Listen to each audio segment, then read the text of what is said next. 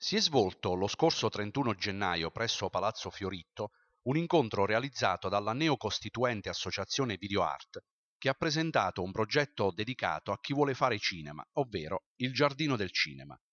I presenti, che hanno riempito Palazzo Fioritto durante la serata presentata da Angelo Diana,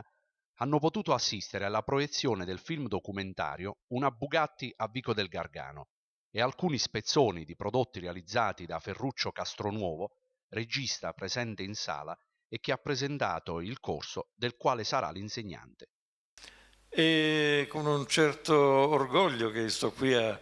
cercare di fare una cosa che mi piace tanto e che penso sia interessante da proporre a quanti vogliono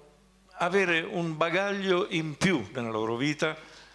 che non riguarda soltanto il cinema in particolare, ma che deve essere una crescita culturale, Deve essere una maniera di vivere diversa, capire di più se stessi, capire come siamo e saperci muovere e comportare anche in maniera diversa. L'associazione Video Art, in collaborazione con Agora, Videodroni Sud Production, Prospettive Artistiche e Tex Video Production, ha così voluto esprimere la gratitudine nei confronti del regista per essersi messo a disposizione del condividere il proprio sapere. Abbiamo avuto innanzitutto la disponibilità di Ferruccio, abbiamo detto eh, tra virgolette in maniera amichevole sfruttiamolo e eh, abbiamo deciso di interpellarlo per creare questo corso qui eh, a San Nicandro.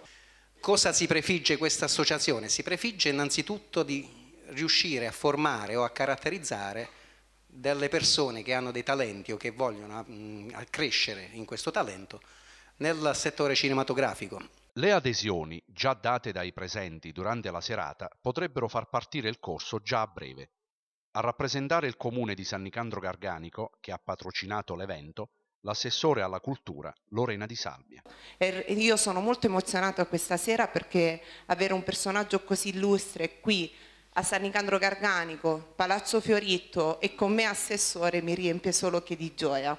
Un uomo di grande esperienza, un uomo di grande cultura, possiamo dire che oggi il mio assessorato viene nobilmente rappresentato